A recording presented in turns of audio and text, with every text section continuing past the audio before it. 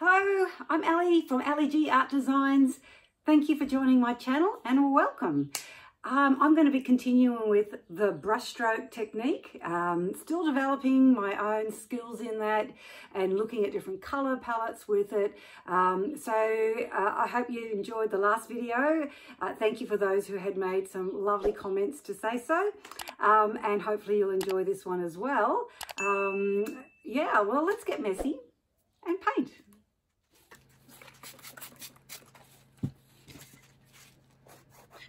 Spraying my canvas uh, and giving it a bit of a brush. Got some lines there to sort of guide me a little bit to the sort of composition I am wanting to create. Um, and laying some white down and some brown. I, am really trying to create uh, a beigey sort of colour here. I don't really want brown, but just using the white and the brown to create that and uh, just trying to form some shading with that. Give it a bit of a blend.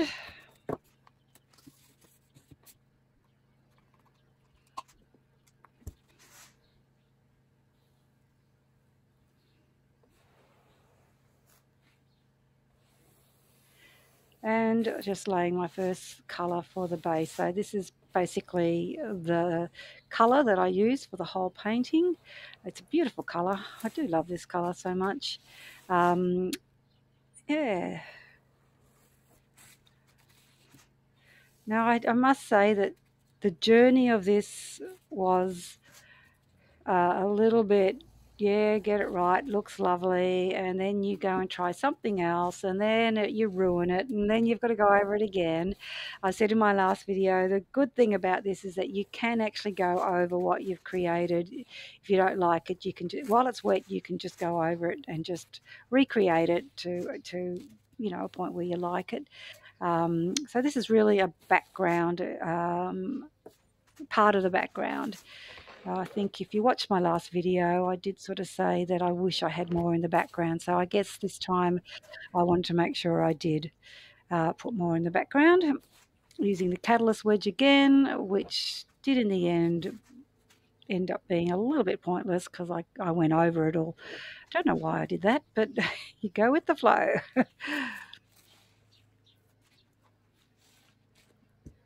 Hope you can't hear the lawnmower in the background. Sorry about that to wait for peace will never happen.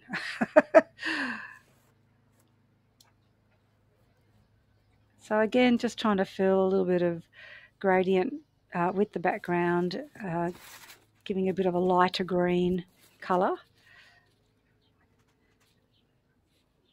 It's all trial and error. It, you know, you, you give it a go. Sometimes it works and sometimes it doesn't. So I'm now trying to create uh, that top coat and giving it a nice light colour.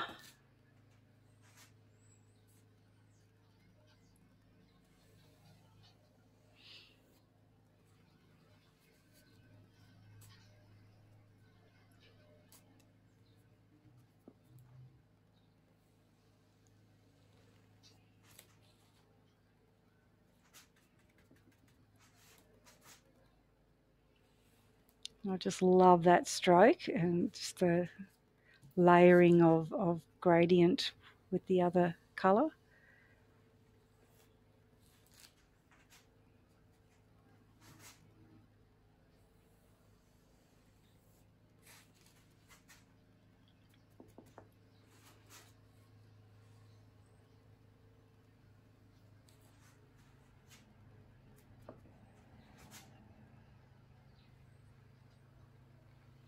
And again, just bringing in that darker colour over the white, it really just makes it stand out. And just stretching that out a bit more.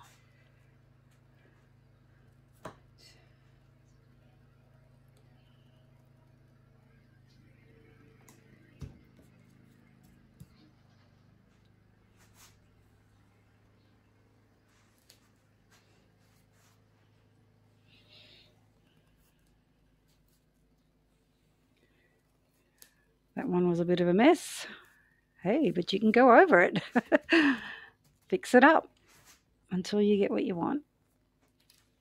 I haven't quite mastered adding the white to keep that white contrast, but um, I'll keep working at it.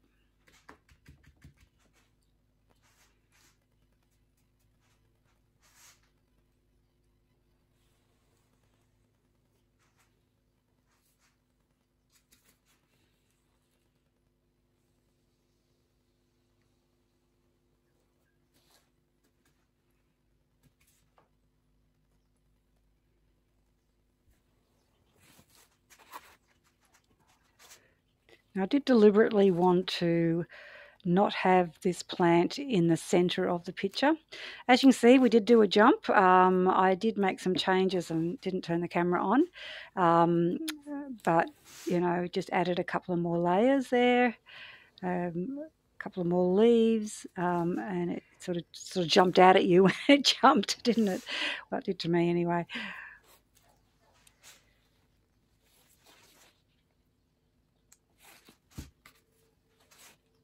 Just doing those backward strokes again, which I really do love.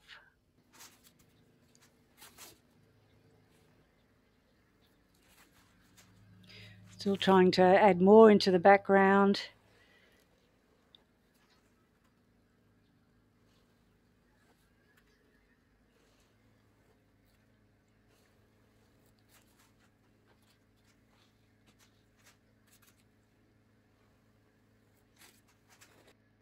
And giving it that contrast.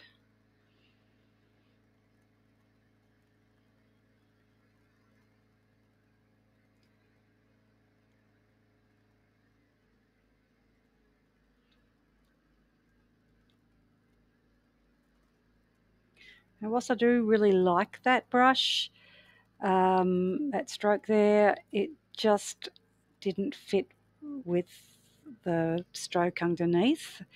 So um, I did end up fixing it later.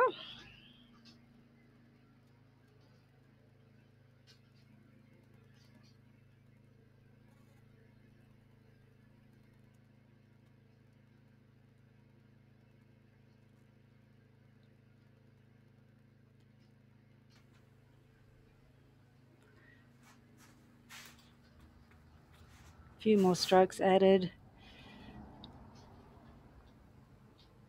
Think if I was to give you real time on every stroke I did, this would go for a very long time.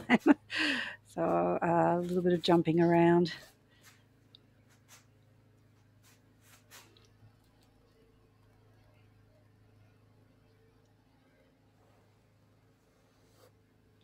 I'm just adding some gold. Guess I was feeling at this point that the painting's nearly finished and let's just add a top colour of gold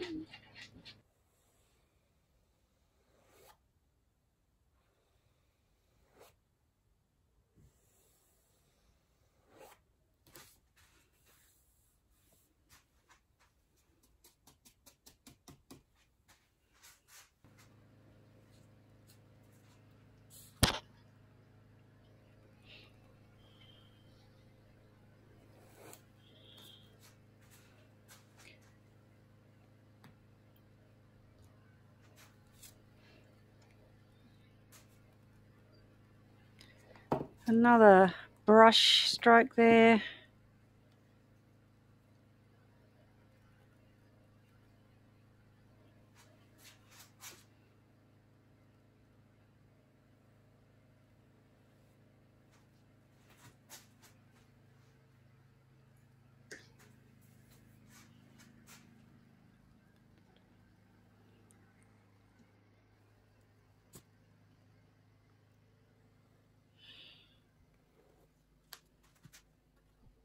Trying to fix that middle, um, but I just ended up giving it too much layer effect there, and um, and here I clean it up. Right, looks a lot cleaner. um, I really do like that middle brush stroke.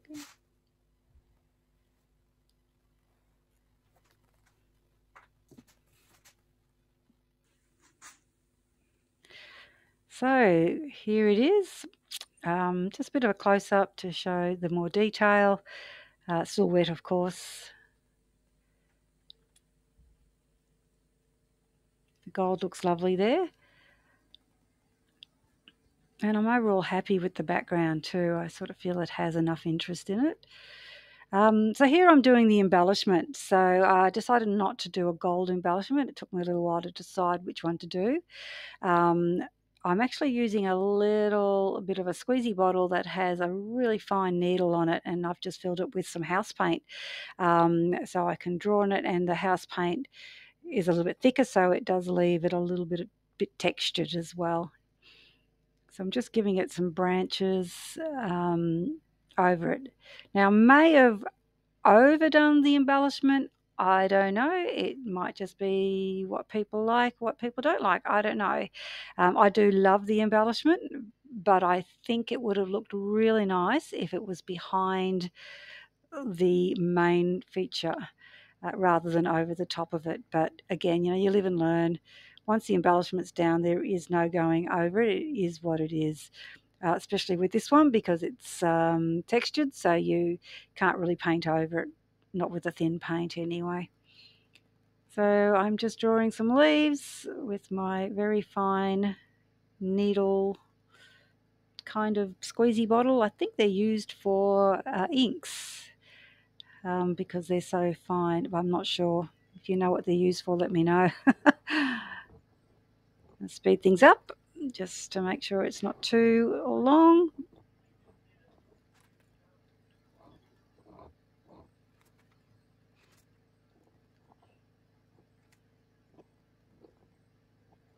I do love the white over it. It really stands out. But did I go over what should be the main focal point being the brush strokes underneath? I don't know. Tell me your thoughts. Should I have put them underneath the plant or is on top of the plant doable?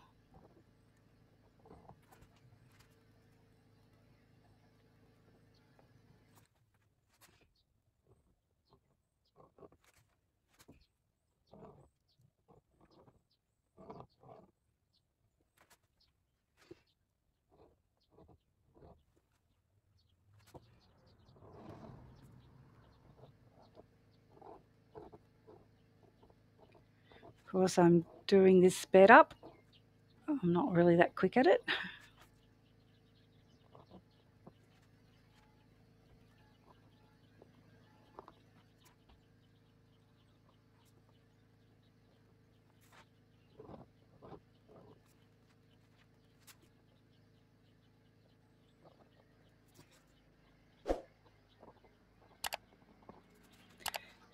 So that's pretty much it.